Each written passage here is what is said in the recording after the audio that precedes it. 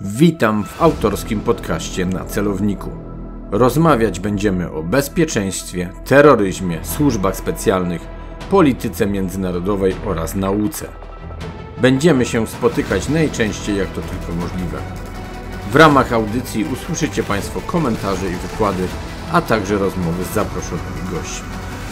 Zapraszam do stałego obserwowania podcastu.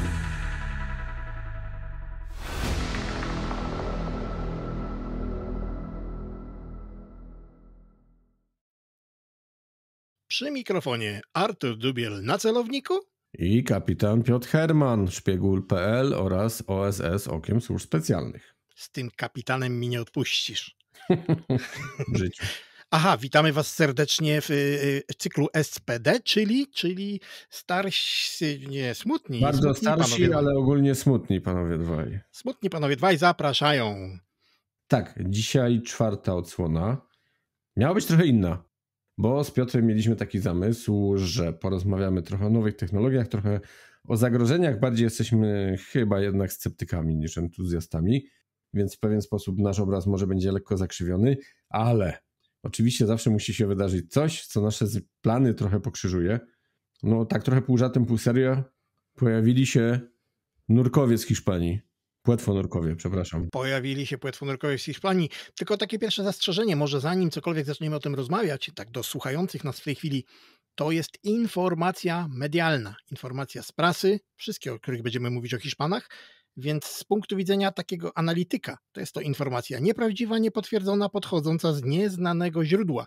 Czyli jest to taki element układanki, którym będziemy zatykać luki poznawcze do czasu falsyfikacji takiej informacji, a w zasadzie nie informacji, a danych, czyli falsyfikacji, czyli potwierdzenia jej fałszu. Chciałem to zaznaczyć, że mówimy o faktach medialnych.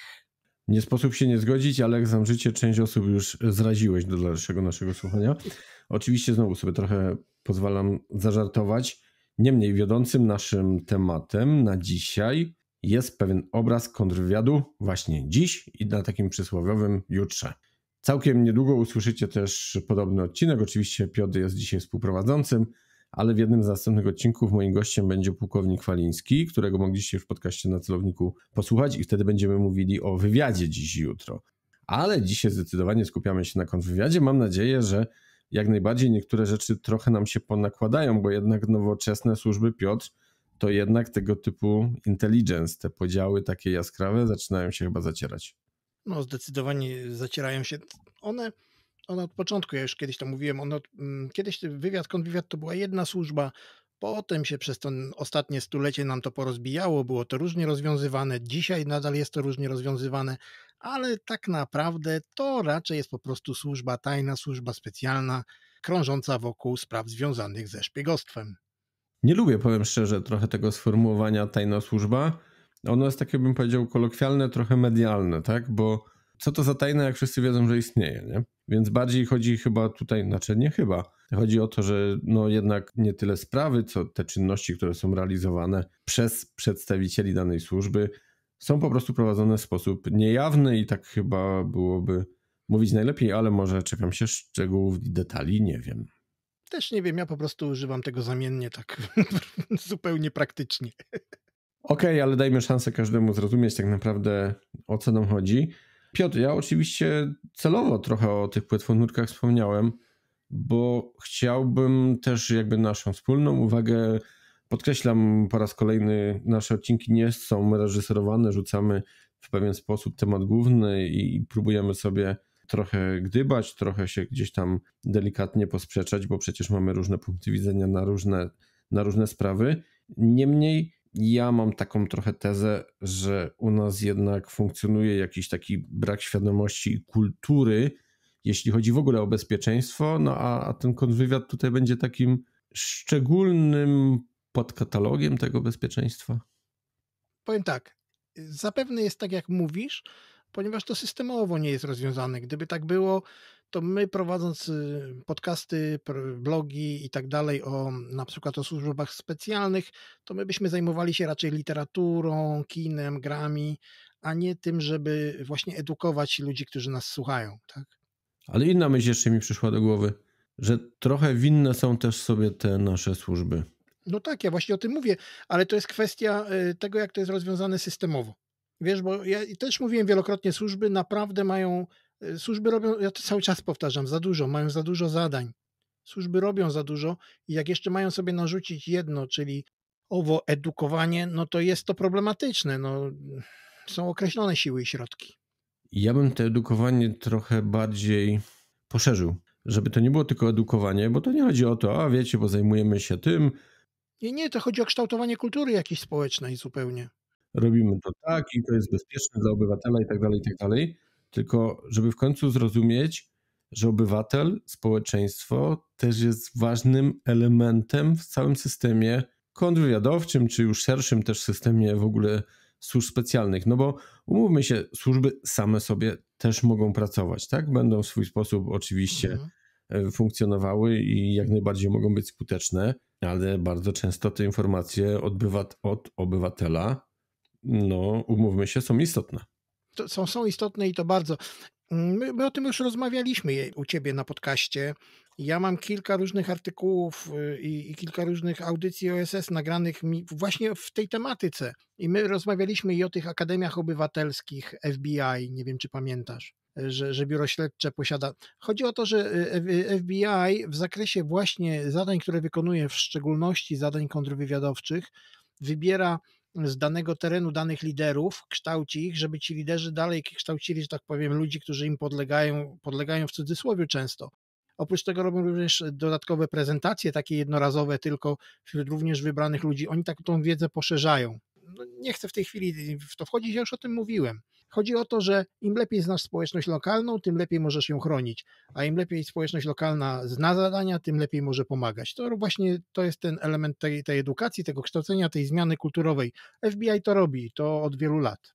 Tylko pewnej rzeczy chyba też zapominamy trochę, że funkcjonariusz jakiejkolwiek służby, nie mówimy już tylko o służbach specjalnych, bo znowu troszeczkę wrócimy do tych nieszczęsnych płetwonurków, to też jest obywatel. I on też nie na wszystkim się musi znać, nie wszystko musi wiedzieć. On może być super policjantem, ale nie do końca mieć właśnie też pewną świadomość. I zakładając wysoki poziom hipotetyczności całej tej sytuacji związanej z tymi nieszczęsnymi Hiszpanami, to może się okazać, że pod względem roboty policyjnej ci policjanci wykonali super robotę. Chociaż oczywiście można mieć wątpliwości. Mówię, że tutaj pewnego rodzaju tworzymy sobie historię, żeby, żeby coś unaocznić. Ale może być taka sytuacja i pewnie ona nieraz niestety ma miejsce, że brakuje pewnej nie tylko wyobraźni, bo, bo świadomość będzie czymś wyższym chyba niż tylko ta wyobraźnia, tak? Tak, tak, tak. Świadomość to jest coś znacznie, nie wiem czy większego, czy coś równoległego do tego, czym jest wyobraźnia. No ale na pewno świadomość, świadomość zagrożeń, świadomość tego, co się dzieje, jak to można zrozumieć, pomaga, pomaga nie tylko nam zrozumieć świat, ale pomaga właśnie odpowiednim organom, służbom tak dalej w realizacji ich zadań, które bezpośrednio wpływają na to, czy ja jestem bezpieczny, czy nie, dlatego że one mogą wpłynąć bezpośrednio na to, czy ja mam gaz, czy go nie mam, czy ja mam prąd, czy go nie mam i ile za niego zapłacę.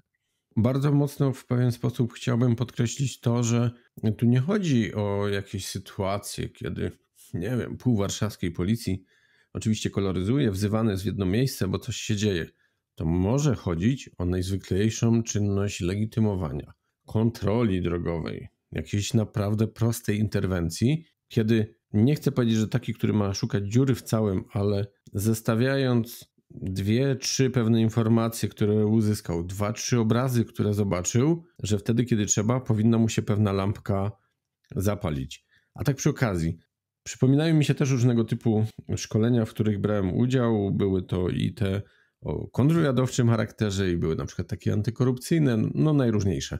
Ale akurat te dwa typy tak teraz mi się skojarzyły. I bardzo często od ludzi z kontrwywiadu, już nieważne czy cywilny, czy wojskowy, było słychać, no i słuchajcie, tam będą też tacy ludzie, którzy pewnie od was będą chcieli jakieś informacje wydobyć, no to pamiętajcie, żeby za dużo nie gadać i z nimi nie pijcie, tyle. A na antykorupcyjnych, no pamiętajcie, że nie wolno brać, sankcja jest taka i taka i są tacy, co za wami będą łazić, więc nie wolno brać. Dla mnie jest to trochę za mało, kiedy nie będziemy w pewien sposób najpierw się zajmować właśnie mundurowymi funkcjonariuszami, oficerami po ostatniego tak naprawdę w całym systemie i na podstawie pewnych przykładów, case studies, pokazywania. Nawet mówię, oczywiście, bo nie wszystko będzie, będzie w pewien sposób jawne, ale można zanonimizować pewne fakty, można pokazać pewien schemat działania. Oczywiście też, żeby nie pójść w drugą stronę, żeby nie instruować kogoś. Artur, dokładnie, ale powiem Ci, że na przykład w biznesie jest coś takiego, że w ramach bezpieczeństwa biznesu jednym z takich bardzo ważnych zagadnień jest bezpieczeństwo podróży i pobytu. I to jest właśnie takie programy realizuje się no, w firmach, które poważnie do tego podchodzą, realizuje się w biznesie w ramach właśnie tego, co nazywamy bezpieczeństwem biznesu. Jest to bezpieczeństwo podróży i pobytu. To są całe, często rozbudowane programy, które no nie tylko właśnie takie rzeczy mówią, jak ty powiedziałeś, że jedno zdanie i uważajcie i nie gadajcie i nie pijcie, ale znacznie bardziej rozbudowane, łącznie z tym, co się dzieje przed, w trakcie podróży i po takiej podróży. I także no, dość rozbudowane programy to są dla takiego pracownika, który odbywa podróż. No i tu niestety po raz kolejny mam takie wrażenie, że ten świat cywilny trochę no jednak, ale wyprzedza ten, ten mundurowy, czy ten po prostu aparatu państwowego? Aparatu państwowego, tak, no zdecydowanie tak jest, ale musisz wiedzieć, że aparat państwowy, to nie jest tak, że aparat państwowy nie przechodzi szkoleń. Również jej przechodzi. Często jest tak, że nam się wydaje, że są zagadnienia e, gdzieś z kosmosu. Weźmy na przykład terroryzm i działania antyterrorystyczne, nie kontrterrorystyczne, tylko antyterrorystyczne. No to y, mamy w tej chwili w ABW to Centrum Przeciwdziałania, tak? Prewencji terrorystycznej. Proszę? Centrum, o, prewencji. Centrum Prewencji, właśnie, nie przeciwdziałania, widzisz. Centrum Prewencji, ja przepraszam, no nie siedzę tak w tym akurat konkretnym zagadnieniu. Niemniej jednak ja tam ostatnio patrzyłem, ile oni przeszkolili, tego co tam zrozumiałem, urzędników państwowych, to, no, to są liczby, które robią już wrażenie. Robią wrażenie, ja w, w, jednym z ostatnich odcinków na ten temat też o tym mówiłem, bo też w takim szkoleniu uczestniczyłem. Powiedzmy, że w pewien sposób staram się spożytkować też w pracy ze studentami nie ze wszystkim się powiedzmy zgadzam. Aha, rozmawialiśmy przecież z Jankiem Wójcikiem na temat zmian w brytyjskim systemie antyterrorystycznym i właśnie pewnego zaprzęgnięcia strony społecznej. No, już od kilku lat takich, tak, tak, zgadzam się. Te szkolenia jak najbardziej są ważne i powinny być e, rozszerzane. Niemniej myślę, że właśnie powinny iść w tą stronę, żeby to nie chodzi o to, że każdy obywatel ma być kontrwywiadowcą, ale jednak czy my jesteśmy, za przeproszeniem, zwykłym obywatelem, czy obywatelem, który też w aparacie państwowym funkcjonuje, w pewien sposób ta osoba powinna być bardziej przygotowana, trochę może większe umiejętności analityczne, spostrzegawczości, łączenia tych przysłowiowych kropek chyba, Piotr, nie? No tak, ale to też są pewne własności intelektualne każdej pojedynczej osoby. Jedni, jedni mają je bardziej, drudzy mniej. To też trzeba brać pod uwagę, nie? Tylko jeżeli weźmiemy, nie chcę już mówić czy chęci, czy możliwości, ale jednak jakby nie patrzeć na naszego największego sąsiada, tak? Nie mówię o powierzchni realnie przylegającej do naszej granicy, tylko po prostu to możemy zakładać i wiemy doskonale, tak? Piotr, rozmawiamy często nie tylko kiedy się nagrywamy, rozmawiam też z innymi osobami i wiemy, mamy też swoje wątpliwości do pewnych rzeczy, które być może nawet i dzisiaj jeszcze mają miejsce i na jakiej zasadzie one się mogą odbywać. No, jeżeli nie będzie pewnej dyskusji, to przy, nie chcę powiedzieć, że masowym, bo ja też nie chcę straszyć, tak, że Rosjanie są wszędzie i wszystko robią. Bardziej bym powiedział, że chyba to Chińczyków zaczyna być trochę więcej. Ale jeżeli nie będziemy na niektóre rzeczy zwracali uwagi i jeżeli będziemy traktować to po staremu, po perelowsku, czyli że rozmowa z aparatem państwowym jest donosicielstwem, kapowaniem, bo ktoś nas wyśmieje, bo już dzwoniliśmy dwa albo trzy razy i patrzą na nas podejrzliwie, bo nie sprawdziły się rzeczy, o których mówiliśmy, no to w ten sposób, jak będziemy podchodzić, kiedyś niestety możemy gdzieś we wnętrzu chociażby własnej głowy zapłakać, bo się okaże, że jednak coś widzieliśmy dobrze, ale, ale baliśmy się tym podzielić. Wiesz co, to jest prawda, ale ty tutaj mówisz o, o, takiej rzeczy jak zmiana całej kultury, rozumiesz, kultury społecznej. To jest temat ogromny i pracy jest tu mnóstwo do zrobienia, a co z tego wyjdzie i czy kto to będzie robił i czy będzie robił, nie mamy zielonego pojęcia póki co. Ale chcemy się zastanowić, Piotr, jak tak naprawdę ten kontrwywiad dzisiaj i jutro ma wyglądać. I to nie społeczeństwo ma wyjść z tą inicjatywą współpracy, tylko wydaje się, że to też będzie jedno z tych zadań chyba dla kontrwywiadu, szczególnie służb specjalnych, aby zachęcić te społeczeństwo do pewnego rodzaju współpracy. Tak jak dzielnicowy policyjny idzie w teren i owszem ma dużo ciężkiej pracy, bo mu przychodzą ludzie się czasem wygadać, ponarzekać na sąsiadów, mając rację, nie mając racji, ale być może też jakiś sposób pewnego rodzaju łącznika należałoby znaleźć między właśnie służbami kontrwywiadowczymi a, a społeczeństwem jako takim. No to na pewno moim zdaniem właśnie te owe akademie obywatelskie, o, o, owe te prezentacje, które są robione, uświadamiające daną społeczność, no to jest, to jest przyszłość, która nas czeka. To, to na pewno jest, bo, bo, bo to służby będą, powinny organizować i, i to służby powinny edukować i przede wszystkim stawiać na społeczności lokalne. No, wywiad jeszcze wiadomo, wywiad pracuje w ogromnej mierze poza granicami kraju, ale kontrwywiad w ogromnej mierze pracuje na terenie kraju. On bez tej łączności ze społecznościami lokalnymi nie pociągnie w dzisiejszych czasach. Pamiętajmy też tak naprawdę, jak wiele różnorakich obiektów funkcjonuje w Polsce, bo to nie będą tylko obiekty typowo wojskowe, ale będą inne ważne ze względów, no trzeba to powiedzieć, strategicznych i o takim znaczeniu, no, tym samym, jeżeli sami obywatele też nie będą zwracać uwagi na to, co wychodzącego poza normę dzieje się wokół tego miejsca, czy wokół ludzi związanych z tym miejscem. No zobaczmy, zobaczmy, co się dzieje właśnie ze względu chociażby na, na wypadki na Ukrainie, na wojnę, która tam się toczy. U nas w kraju jest cała masa infrastruktury krytycznej, która podlega szczególnej ochronie. No o czym tu mówić? To nie, to nie są obiekty militarne. One, tak jak mówisz, one są strategiczne. To jest po prostu infrastruktura krytyczna i tyle. No dobrze, jakbyśmy to mieli przełożyć, bo pewnie też chwilkę nam dzisiaj zajmie mimo wszystko kwestia tego rozwoju technologicznego, może meta światów, chociaż jak najbardziej chcemy to sobie zostawić na kolejną naszą rozmowę. Ale jeżeli mamy mówić o kontrwywiadzie przyszłości, ja nie mówię o wywiadzie za lat 20 czy 50, tylko de facto kontrwywiadzie jutra, to nad tymi rzeczami też się musimy zastanowić, bo jednym z parametrów w ogóle służb specjalnych, nie dzieląc już y, tychże służb, jest to, że to są służby potrafiące się dostosowywać i uczyć.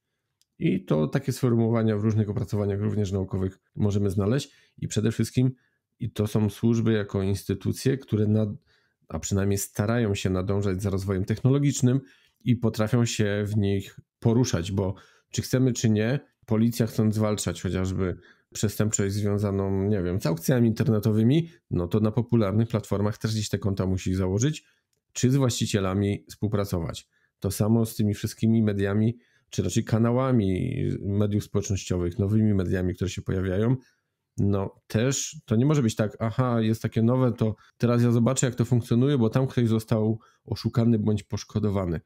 Czy służba tego chce, czy nie, musi ostatecznie tam się znaleźć i pewnie w tym metaświecie też tak będzie. Wiesz co, służby i służby specjalne i wszelkiego rodzaju służby policyjne to tak naprawdę są służby reakcyjne, konserwatywne. One dopiero właśnie wtedy, gdy to jest konieczne, gdy to jest nieodwołalne, to one wówczas dopiero akceptują zmiany technologiczne, zmiany społeczne. To też jest istotne. I teraz jest to taki spory paradoks, dlatego że takie gadżety bondowskie nierozerwalnie kojarzą nam się przecież ze służbami y, tajnymi, specjalnymi i kiedyś rzeczywiście powstawały tylko i wyłącznie na ich potrzeby służb oraz wojska, albo wojska i służb, może tak, ale to jest czas przeszły, a może nawet zaprzeszły, to taki żarcik. Ale na ten temat to sobie porozmawiamy tak naprawdę przy okazji Nextechów.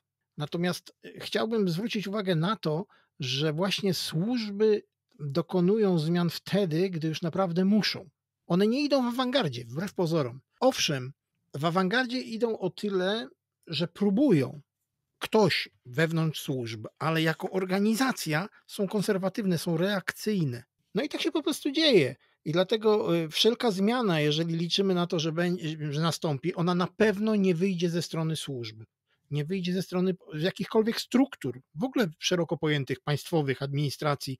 Żadna zmiana stamtąd nie wyjdzie. Ja bym Cię chciał zapytać o opinię, Piotr. Co powinno się zmienić? Albo inaczej, żebyśmy już nie drążyli, nie męczyli, jak jest. Jak ten kontrwywiad jutra miałby wyglądać? To jednym z tych parametrów do zmiany będzie między innymi to, o czym powiedziałeś, że ten kontrwywiad też nie powinien być reakcyjny, tylko jednak, nie chcę powiedzieć, że krok do przodu, ale jednak być dalej niż jest dzisiaj. Ja nie wiem w ogóle, czy to jest możliwe, wiesz, bo to już są, to już są kwestie socjologiczne, politologiczne, kwestie badania struktur jako takich, organizacyjnych struktur kultur organizacyjnych. Natomiast zmiany, mówiliśmy o tym, zmiany powinny przede wszystkim wychodzić od tego, czy państwo, czy, czy rząd, bo, bo służby pracują dla rządu, dla premiera przede wszystkim. I teraz z poziomu strategicznego powinna wyjść jakakolwiek chęć zmiany, a przede wszystkim potrzeba zmiany, bo ja ciągle mówię, ja nie mam tej pewności, czy my potrzebujemy zmian. Jeżeli mamy państwo takie, jakie mamy, to czy my potrzebujemy zmian w służbach? To jest pytanie polityczne w tym momencie, a nie pytanie praktyczne. Dlatego, że służby są, zostały stworzone i działają tak, jak działają. Prawda jest taka, że politycy zawsze są, chcą sobie zawłaszczyć służby, tak? I jak już mają służby pod swoją kontrolą, to nie chcą żadnych zmian, chyba że personalne. Tylko wiesz, Piotr, ja bym nie chciał, żeby nasza dzisiejsza rozmowa też się skupiała znowu nad tematem, czy te służby wymagają tych zmian, czy nie wymagają. Ja bardziej bym chciał, może nie, bo to za duże słowo będzie, ale nie tyle, żebyśmy wizjonersko spojrzeli, bo tak jak mówię, nie, nie, nie chcę rozmawiać y, nad tym, jak służby będą miały za 20 czy 50 lat wyglądać, tylko właśnie jak przystający do dzisiejszych realiów i do zagrożeń jutra powinien ten nasz kontrwywiad wyglądać. Więc ani nie zrobimy nikomu przyszłości tym, co powiemy, a być może też zwrócimy uwagę na na pewno mocno ciekawe rzeczy, które, które być może za chwilę nas czekają, a które nawet też już się zaczęły, a jeszcze tego nie zauważyliśmy. Okej, okay. bo, bo ja mówię, od tego poziomu strategicznego wychodzę, ale faktycznie dzisiejsze służby i służby przyszłości, one muszą być służbami sprawnymi podejmuje się szybko decyzje, gdzie, gdzie wykonuje się szybko zadania. Y, to nie są służby, gdzie mamy czas y, czekając na wiadomość. Te, te wiadomości mamy na kliknięcie myszką, tak? a w przyszłości pewno na kliknięcie okiem tylko w naszym metaversum albo Bóg wie gdzie. Y, więc służby muszą być sprawne i sprawnie realizować swoje zadania. Nie mogą mieć dużo zadań, muszą mieć naprawdę ściśle określone. Jeśli mają je ściśle określone, to teraz trzeba podzielić na tych, którzy tę pracę wykonują i na tych, którzy tej pracy nie wykonują. Jeżeli ktoś pracy czyli tak zwanej pracy operacyjnej nie wykonuje, w ogóle nie powinien być funkcjonariuszem, tylko gdzieś tam z boku, jako cywil zatrudniony, oczywiście spełniając pewne określone warunki i tak dalej, czyli cała logistyka, całe finanse, administrację, ble, ble, ble, ble, ble, to wszystko powinno być wyrzucone poza służby.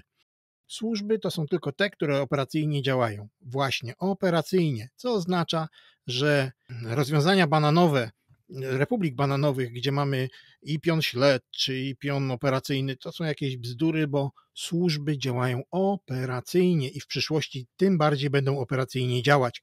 Natomiast właśnie to są dalsze zmiany, bo zmiany powinny nastąpić na przykład w prokuraturach to już powinien być powstać gliniarz i prokurator w cudzysłowie. Powinien być y, sędzia śledczy, powinien mieć swoich ludzi i tak dalej, i tak dalej. Powinny powstać specjalne komórki, które będą zajmowały się, prawda, tak jak kiedyś były te PZ gospodarcze i tak dalej. Tak samo jakaś komóreczka od spraw związanych y, ze sprawami kontrwywiadowczymi żadnych y, śledzi, żadnych ludzi, którzy udają, że są prawnikami, nie powinno być w służbach, bo to to, to, nie, to nie są służby specjalne. Mówię oczywiście teraz o kontrwywiadzie. Dochodzi do sytuacji czasami paradoksalnych, że człowiek, który zajmuje się kontrwywiadem, musi brać udział w jakichś działaniach e, śledczych, nie?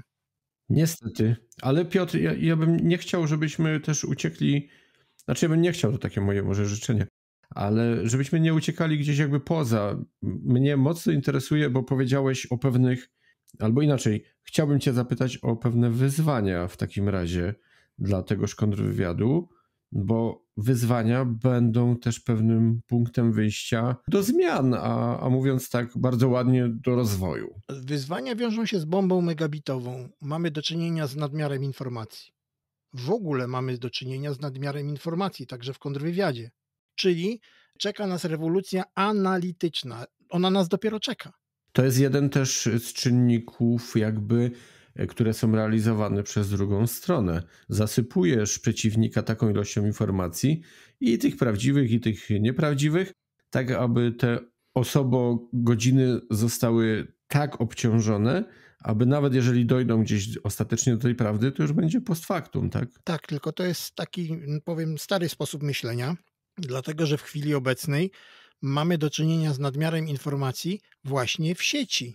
Czy nam się to podoba, czy nie, większość, tak uważam, ja uważam, że większość informacji typowo kontrwywiadowczych jesteśmy w stanie za pomocą narzędzi osintowych wyciągnąć z sieci, nie ruszając tyłka za komputera.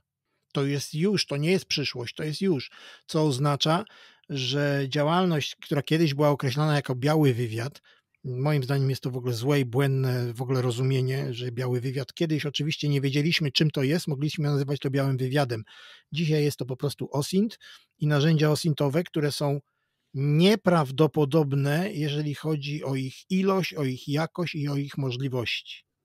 Sztuczna inteligencja swoje tutaj do tego wszystkiego dorzuci, ale mam takie małe prowokacyjne pytanie do ciebie w takim razie. Czy według ciebie powinna jakaś służba, być może, a na pewno instytucja powstać, która by się tym zajmowała, na rzecz oczywiście państwa, czy właśnie w ramach istniejącej służby powinno się jakieś takie, nazwijmy to, piony stworzyć? Widzisz, tu jest, tu, to jest to, co ja zawsze mówiłem, poziomy, poziomy, strategiczny, taktyczny, operacyjny, poziomy. Mhm. Chodzi o to, że służba musi mieć własne, własną analitykę wewnątrz na rzecz bieżącej pracy i tak dalej, natomiast powinna powstać zupełnie odrębny, jakiś y, oczywiście utajniony twór, jakaś instytucja, która będzie analizą międzyresortową. Ona będzie, do niej będą spływały te informacje, z których będzie można tworzyć informacje na rzecz rządzących, tworzyć informacje kierownicze, decyzyjne dla premiera.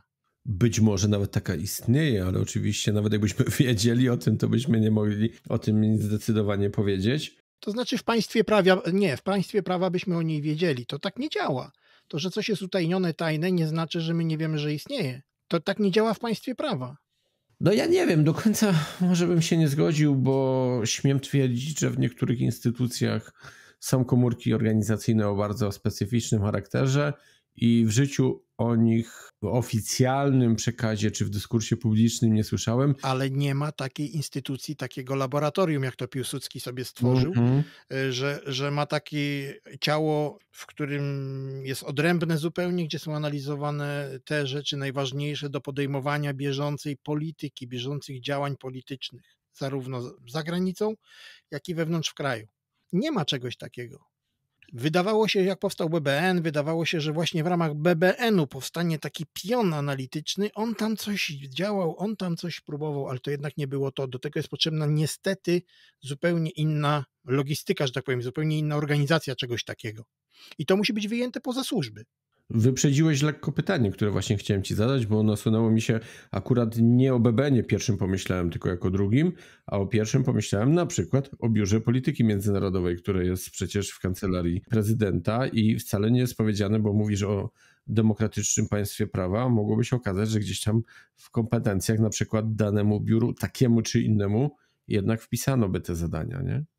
To nie jest dobre rozwiązanie, ponieważ mi chodzi o to, że jeżeli powstanie nowy twór, który będzie zajmował się tylko taką, to będzie takie utajnione biuro analiz rządowych, tylko i wyłącznie, tylko i wyłącznie, to w tym momencie ukierunkowanie tego będzie zupełnie inne.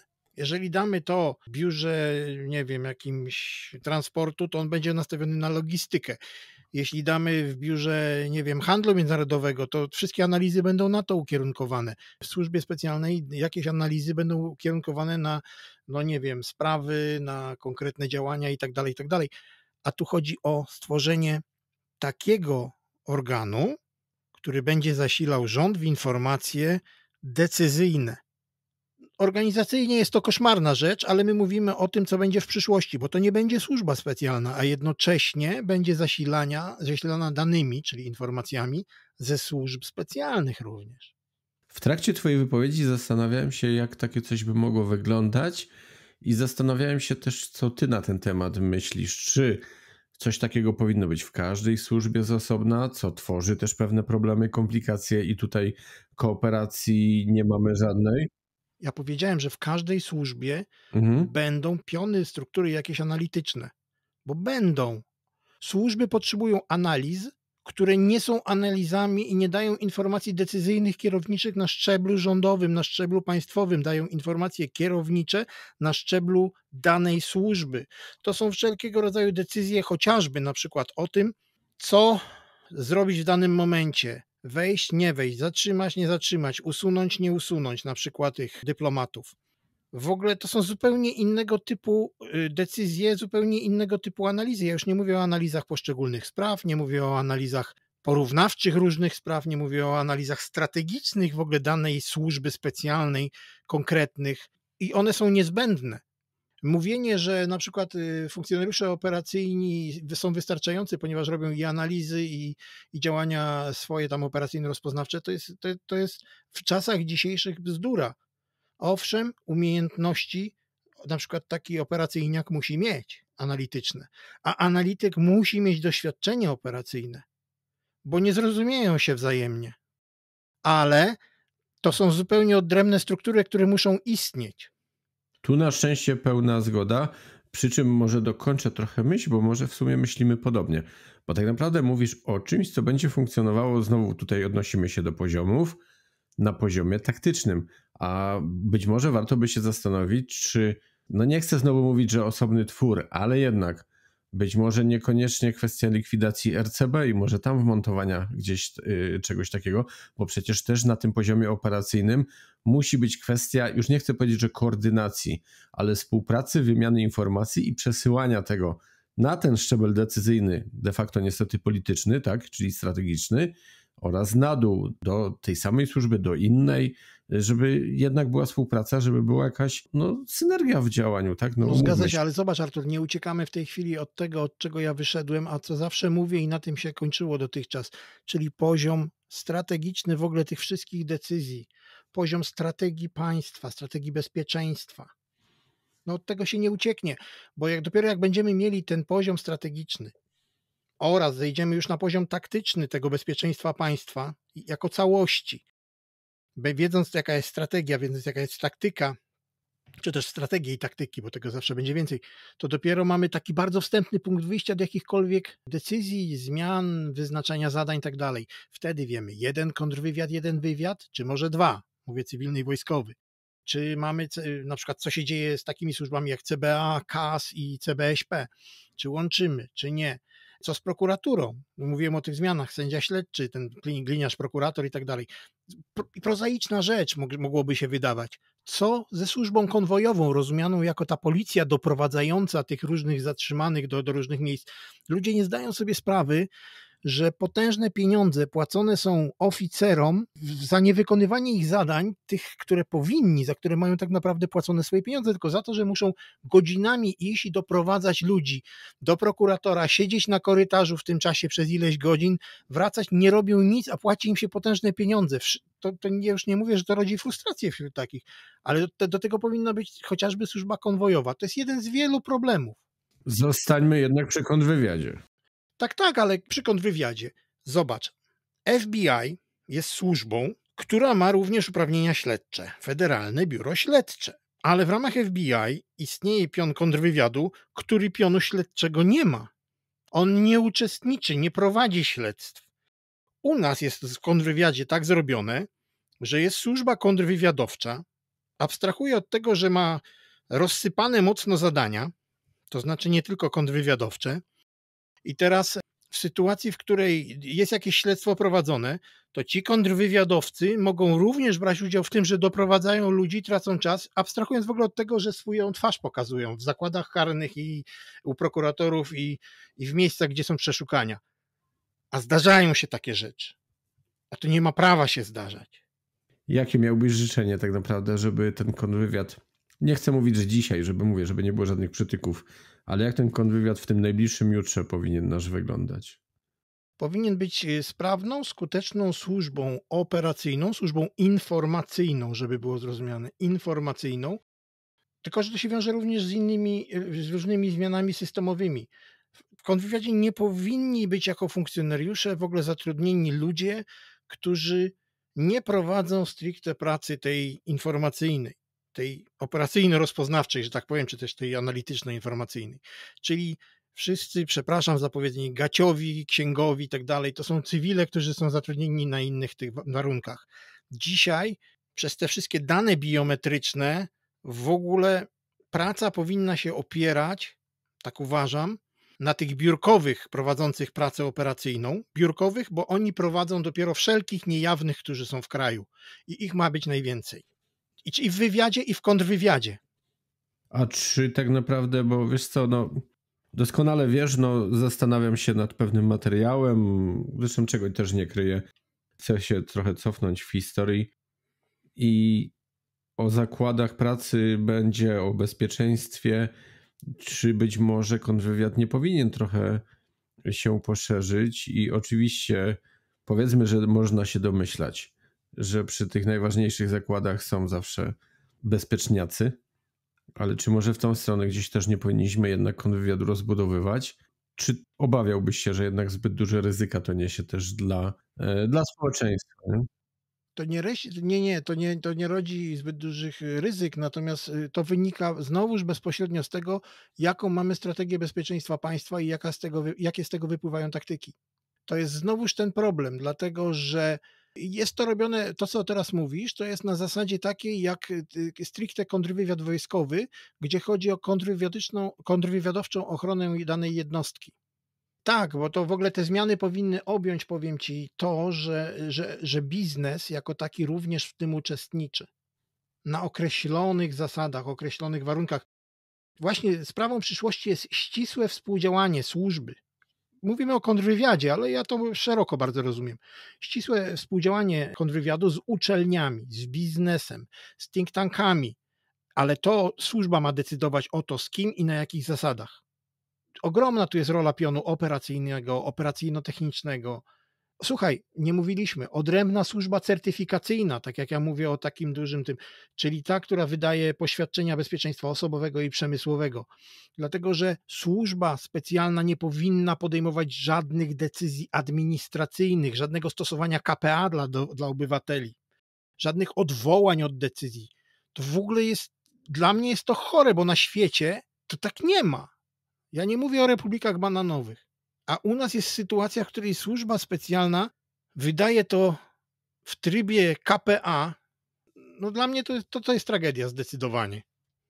Powinna być w ogóle odrębna służba, tym bardziej, że rozwiązania prawne w samej służbie, w samych służbach, bo to przecież nie tylko ABW wydaje e, takie certyfikaty, są takie, że, że to jest zupełnie odrębny pion, odrębna służba w ramach służby. Nie odrębny pion, odrębna służba w ramach służby. Czy taki wniosek byśmy mogli wyciągnąć, że bez zmian, o czym tak naprawdę mówiłeś, ale że bez zmian na tym poziomie strategicznym nie ruszy się reszty? Czy wniosek powinien być, że tak powiem w cudzysłowie, większy, czyli że wymaga i tak zmian systemowych, czyli tak naprawdę dotyczących całości, założeń modelu, a dopiero potem poszczególnych poziomów? Wiesz co, powinno się pracować nad różnymi koncepcjami na różnym poziomie, ale wszelkie rozwiązania, i żeby mieć z czego czerpać, rozumiesz? Bo jeżeli my nie wiemy, co możemy zrobić, jak możemy zrobić, to my nie wymyślimy żadnej sensownej strategii. Dlatego na przykład Piotr Wroński kiedyś tam udostępnił swoją wizję służby. Ja się tam w paru rzeczach z nim nie zgadzam, ale to nie ma znaczenia. Ale on dał tam na przykład takie całkowite swoją koncepcję, wizję, jak powinien wyglądać kontrwywiad. I powiem Ci, ja się z nim zgadzam. Z tego, co ja pamiętam, to tam miał być tak. Gabinet szefa i tam właśnie na przykład miałyby być całe te piony prawne, akademie obywatelskie, o których mówiłem, te FBI przełożone oczywiście na nasze warunki.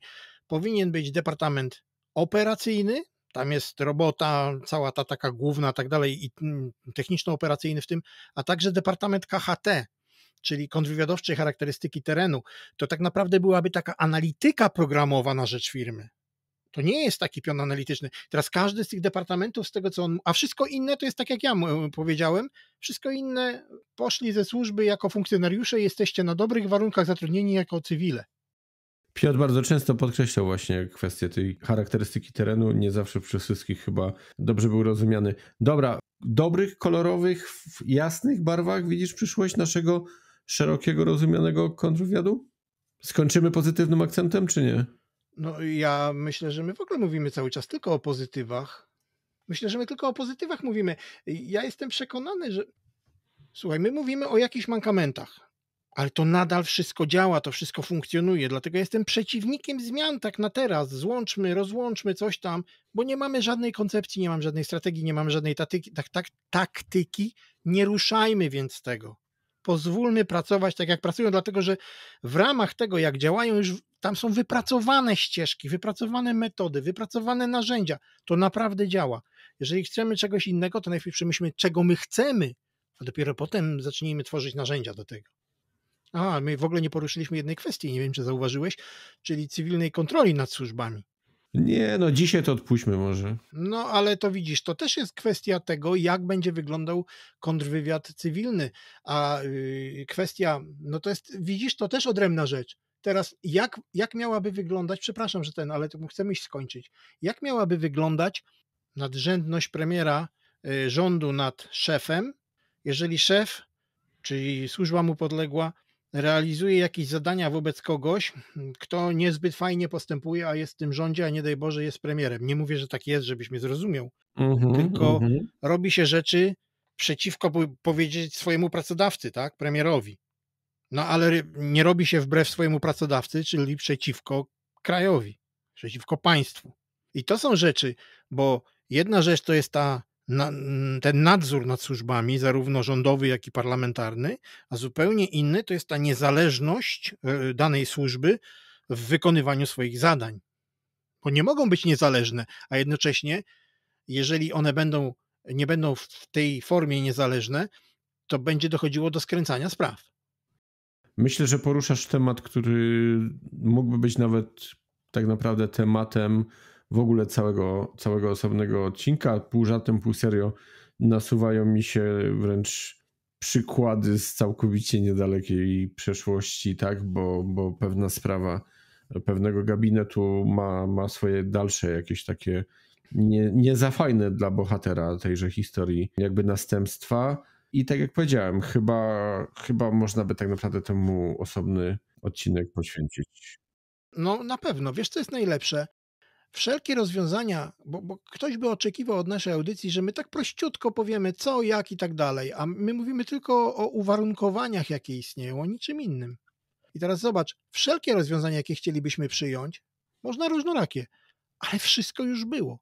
Przez ostatnie, ten ostatnie 150 lat, powiedzmy tak rzucam, to jest ten współczesny kontrwywiad, wszystko już było każde rozwiązanie było próbowane, stosowane i wbrew temu, co oczywiście wielu może mnie za to powiesić, bo to przecież straszne służby były, ale w służbie bezpieczeństwa i wcześniej w Urzędzie Bezpieczeństwa Publicznego testowano bardzo wiele różnych rozwiązań. Naprawdę je testowano. To wszystko już było. Proszę, żeby mnie nie wieszać, bo ja tylko uważam, że z wszelkich możliwych zdarzeń, które miały miejsce, trzeba wyciągnąć jakąś naukę. Oczywiście, jak najbardziej, to ja może trochę humorystycznym akcentem to wszystko podsumuję i zakończę, bo powiedziałeś, że to proste. Proste to była chyba nasza taktyka na mundial w Katarze. Także tym optymistycznym akcentem Piotr Herman, szpiegul.pl oraz OSS Okiem Służb Specjalnych. a także Artur Dubiel podcast na celowniku. Dziękuję Wam serdecznie za kolejny poświęcony czas i oczywiście zapraszamy do kolejnego odcinka naszej serii Smutni Panowie 2 i następne już będzie piąte i plan dalej jest na te high-techy, tak, na, na technologię jutra. Czy nam wyjdzie? Zobaczymy. W każdym razie jeszcze raz dziękujemy. Dziękujemy i zapraszamy na jeszcze. Bywajcie zdrowi, bywajcie bezpieczni. Kieruj się w stronę podcastu na celowniku. Wszystkie odcinki podcastu na celowniku dostępne są w platformach podcastowych Spotify, Apple Podcast, Google Podcast, Anchor, a także w serwisie YouTube. Zapraszam również do wspierania podcastu na celowniku w portalu Patronite pod adresem patronite.pl ukośnik na celowniku.